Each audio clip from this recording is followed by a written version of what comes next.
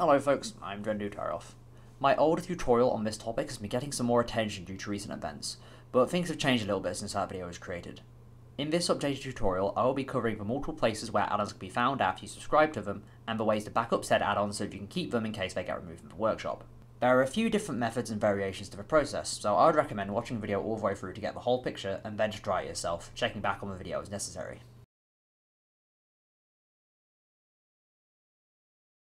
This section is just a repeat of the original tutorial. I'm including it because it is important to know this information, even if the stuff here isn't quite as relevant as it used to be. So find Garry's Mod in your Steam library. It can be here, it can be down here, it can be here. But either way, find it, right click on it, go down to Manage, Browse Local Files, and in here you will find, it will open up a file explorer of the game files. This is where pretty much everything is stored. Crash information, the application itself, if you go into this lower case, you'll find stuff like um, your demos and your dupes and your add-ons. Um, originally, all of your add-ons that you subscribed on the workshop would then be moved into this, well not then be moved, but would be stored in this folder and can be altered and edited and changed by the workshop whenever workshop stuff got updated. Things have changed a little since then, so stuff does still sometimes get updated in here, but not necessarily always. Normally in here it should just be GMAs. This folder shouldn't be here normally, and that zip you saw earlier is something I added my I, the leftover from you know add-on creator stuff. But either way, if you want to make sure that your files do not get tampered with or altered or edited or changed by the um, the workshop, what you can do is you create a new folder inside the add-ons folder and move the add-ons that you want to keep in there. And normally these should then show up as locally installed add-ons in your add-ons menu in Garry's Mod. I've noticed sometimes this doesn't always work with loading. Sometimes you won't actually be able to find them in-game. Most of the time you should be able to find them from the same name that they used to have, but if it's, say, a .gma that you've been given someone else's backup and it wasn't something you subscribed to, it might not necessarily load up in the same way.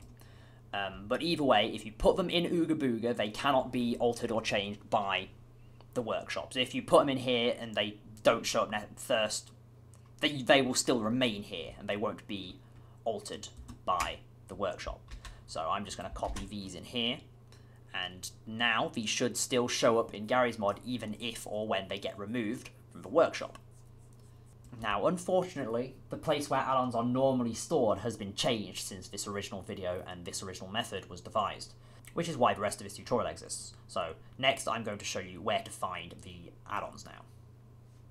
Or, rather, where newly subscribed add-ons now go to, instead of in here.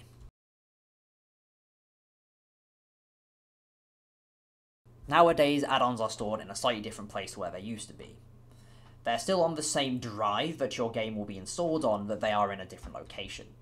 So, if you do the same as the last part, find Garry's Mod, manage, browse local files, instead of going into one of these folders, you go up two folders to Steam Apps. And then you find Workshop, Content, 4000. 4000 is Garry's Mod's Steam game ID. And you see there are a bunch of other folders in here that have a string of numbers. These numbers directly correlate with the um, Steam item on the workshop. So, for example, Crystal Cluster Prop Pack, right? You can see at the end of the URL there's a string of numbers, which you can find and copy easily by clicking Share. And if we search for that in 4000, we should find a folder with those numbers and inside there should be either a .gma file or a .bin file. Whilst you can try copying this file to a new folder within your add-ons folder, as we do in the previous chapter, there isn't a guarantee that the add-on will show up in-game, due to the way these files can sometimes be named. As such, the next best course of action is to fully extract the add-on and install them as a legacy or non-workshop add-on. Slight addendum, I don't know where in the video I'm going to put this. But um, sometimes if add-ons appear as hidden or such, you can sometimes still find the information on them. So this one, for example, if you click on it, go to the URL, because it will still it still it will still give you a URL, but it will you know just say sorry if there is a problem accessing the item. And most of the time that means it won't be in your workshop content either, but sometimes it will show up. So for example, with that one, it shows up there. And it's a bin file. So sometimes you can find the hidden ones, um, but sometimes it will just either take you to an empty folder or it will not be able to find the numbers. So in general, it's a good idea to try and get your add-ons backed up before they get removed.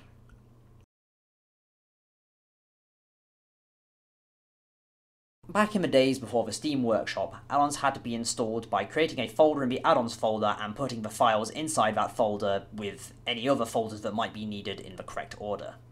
We are going to be turning our Workshop add-ons into Legacy add-ons, allowing us to use them independently from the Workshop. To see Legacy add-ons in-game, we will need the extended Spawn menu add-on by Rubat, which you can find in the Workshop. This add-on also provides many other utilities, so it's generally good to have regardless. To extract the contents of GMA files, there are two methods, the second of which requires you to download additional tools that are separate from Steam, but this second method can also be used to extract bin files.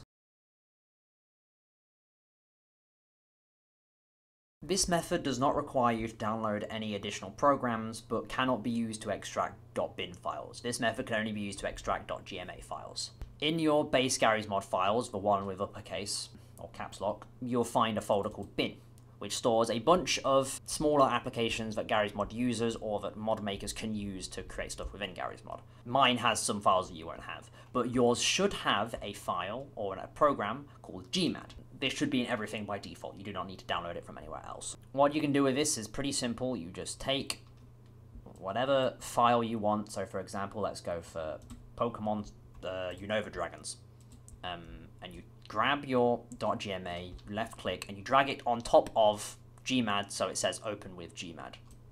And this runs that and should now have created a folder inside wherever you, your GMA is originally stored with the contents of the add-on.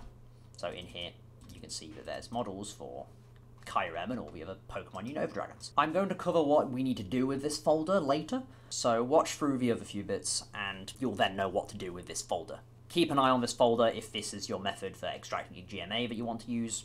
Make sure it's in a place you can remember where it is because we're going to need to put it somewhere else later.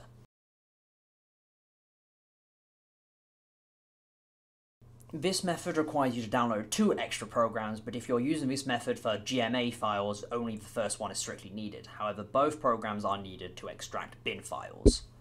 The first program you need is gwtool.exe, which I'll provide a download link to in the description. Um, this is a pretty simple program, and it works right out of the game when you download it. When it, you know, when it lets you download.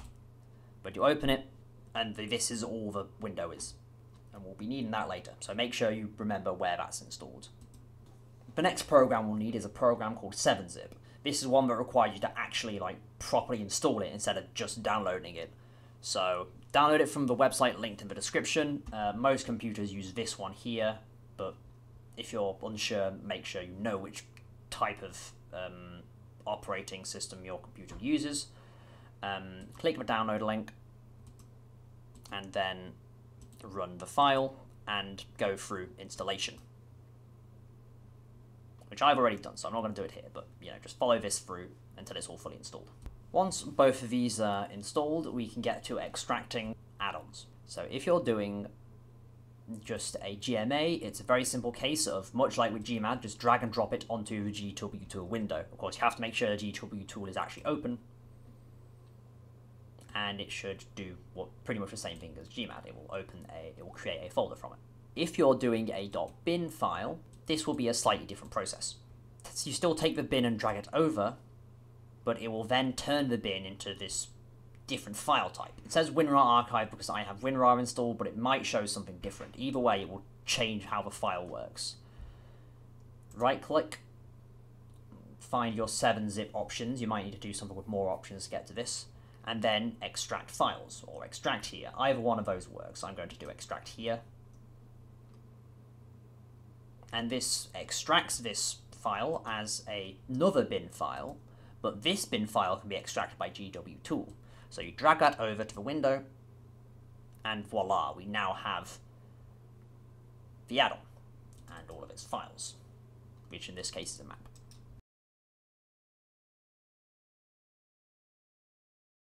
Now that we have extracted the content of these um, add-ons, we can now turn them into legacy add-ons. In a sense, they're already legacy add-ons because if you look inside, you'll see there's a main folder, and then in there there's add-on information, the models, and the materials. Basically, what we're going to need to do is we're going to need to move or copy these folders into the main add-ons folder. And I mean the main add-ons folder and not the folder we created earlier if you, you know, uh, did the old method or tried out the old method. You would just move your folder here into the main add-ons folder. You have to make sure that the way the, uh, the folders work is that it goes folder name and then the contents. So materials, it goes straight to materials models inside add-ons. This is the same for all of them. Whether it's a map or models or whatever, it needs to go name and then contents. Straight to contents, right? whether that be the maps folder or the add-on. Now, your legacy add-on should be showing up in Gmod if you've installed the extended spawn menu, as I told you to earlier. They'll appear under the add-ons legacy section of the spawn menu, which is a new section added by that add-on, instead of in the main uh, add-on section. And this means that this add-on is completely unaffected by the workshop. If the workshop goes down, if you do not have an internet connection, you will still be able to in a sense, access these add-ons. Or at the very least, you'll still be able to find them in the files because they are not internet related at all. So just for an in-game demonstration, um, you will see if you've just done the old method that all of your add-ons that you put in the new folder should show up as locally installed add-on. And if you hover over it, you can see it will tell you the location and name of this locally installed uh, GMA file. So, for example, let's take this one, Pokemon Unova Dragons. Um, and just to double clarify, um, we search for Unova here, and it only gets the locally installed add-on and this completely unrelated add-on that just so happens to share a name. Um, and if we look in our add-ons folder, bear with, you will see that right here, Pokemon Unova Dragons is still here, still accessible, everyone in it still accessible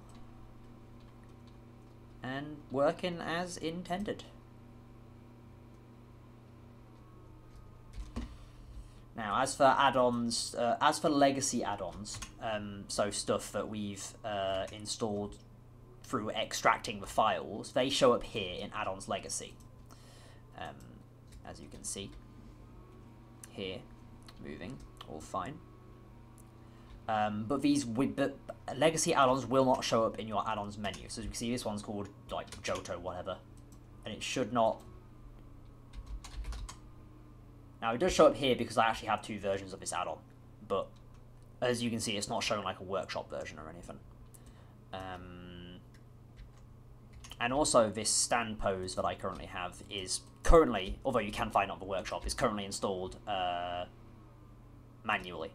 So if I do the same thing here, going to stand, you can see there's no stand pose tool here. But clearly it's here in game because it's a legacy add-on which doesn't show up in here because it's not like a model you can spawn, it's all coding stuff. If it's all coding stuff and map stuff, it obviously won't show up in here, this is just where models would show up. But maps and stuff should all show up in like the normal location. Same with tools. Tools will all show up in the same location if you've got one of those as your um, legacy or locally installed add-on. Thank you for watching this video. If you have any questions, feel free to ask in the comments, but please check to see if someone else has already asked your question. I took way too much time out of my day to make this, so if you found this at the least bit helpful, I would really appreciate giving some love to my other projects, as this channel is mostly the meme and low effort channel, aside from this video and the last tutorial. My main channel has gaming, animation, and some old speed paints. My DeviantArt has my Gmod posters, comics, and drawn artworks, and my ex-Twitter is just for artwork and retweets of stuff I find cool. That's about all. I'll catch you on the flip side.